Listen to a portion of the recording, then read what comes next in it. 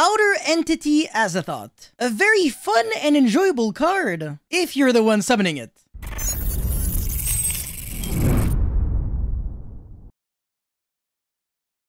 So there are two main reasons why Outer Entity Azathoth got banned. The first one being the fact that you could actually summon it on your opponent's turn with the rank up magic for Phantom Knight, which basically prevented your opponent from using any monster effects, either from the hand, field, whatever, and of course it didn't trigger on the field, so you couldn't even go, oh, chain Forbidden Chalice to the Azathoth. It was just something that happened instead of an activated effect. Now, the second reason why I got banned was because you could actually summon it on your own turn on top of the outer entity Nyarla in order to do a full combo, like the Danger Dark World FTK, completely safe through hand traps except for Droll, Lancea, and Imperm. The hilarious thing is that I can already hear people in the comment section below saying, but Yacine, this card is completely unfair and should never exist. And honestly, you could be right, but at the same time, there is a card very similar to Azathoth that currently exists and nobody is really batting an eye. Yes, I am talking about DDD Duo-Dawn King Kali Yuga, which is very easy to summon in Raidraptor strategies on your opponent's turn on top of the Arsenal Falcon, with again the rank up magic for Phantom Knight. It actually locks your opponent from using any monster effect spells or traps on the field for that full turn, which is arguably maybe better than Azathoth actually. And you can actually achieve that with one single card, by the way. The point is, we have a card that shuts down multiple mechanics, but we're still reluctant to unbanning Azathoth. Why is that?